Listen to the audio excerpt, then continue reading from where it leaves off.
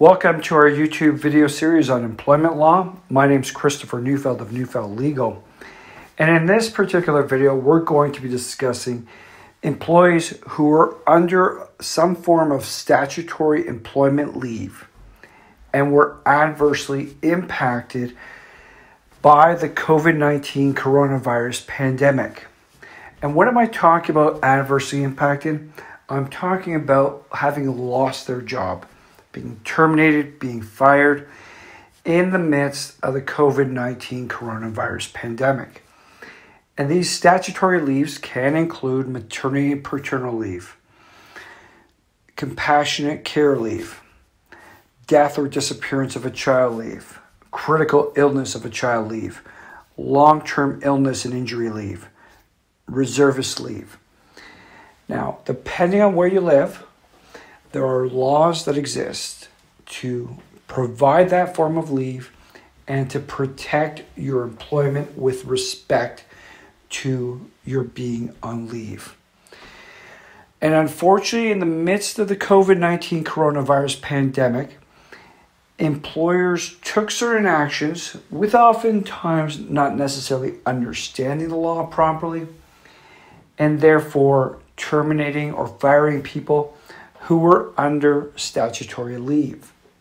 And depending upon where you live, there could very well be issues that go beyond the normal scenario should you have been under statutory leave, returning from statutory leave during the pandemic, and then being terminated and you have to analyze those specific employment rules. It starts oftentimes in some jurisdictions with employment standards laws that are created by statute, and they talk about this very specific issues. Oftentimes, these laws were created long before the pandemic arose, and people are not fully aware of their impact. And what happens is employers are so quickly looking to shore up their financial numbers that they make arbitrary decisions based on finances and not the law with respect to how they proceed. And this can result in very serious issues. In particular, in certain jurisdictions where the business that the individual was employed at has been suspended and depending upon the timing, when the person returned from leave, when they ended leave, they could have further statutory protections that are in place and protect them from being terminated. But if they are terminated, that presents a whole new set of problems. And simply getting termination pay, severance pay, may not be the end of the story because those individuals are extremely vulnerable. They feel the need to take the money that comes to them, and this impacts them. It's a double whammy, and they feel like they're at a point where they have little that they can do. And even if they go and take that money, they should stop and reconsider they need to engage with legal counsel.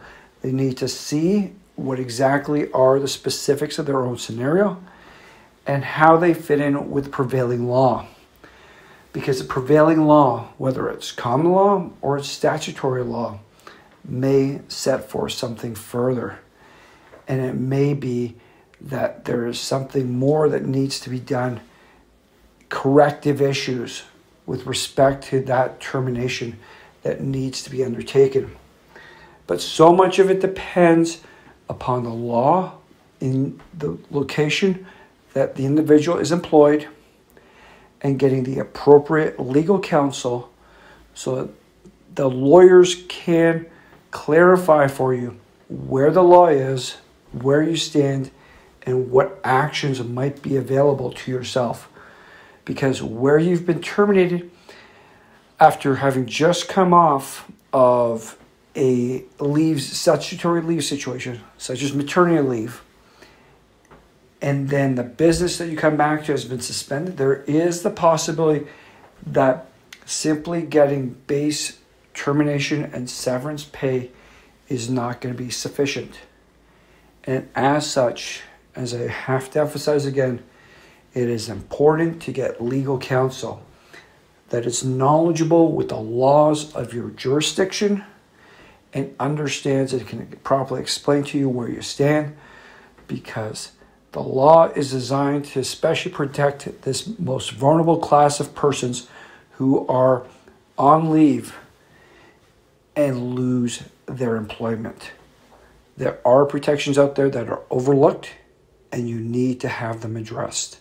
So address them and be better for it. Thank you.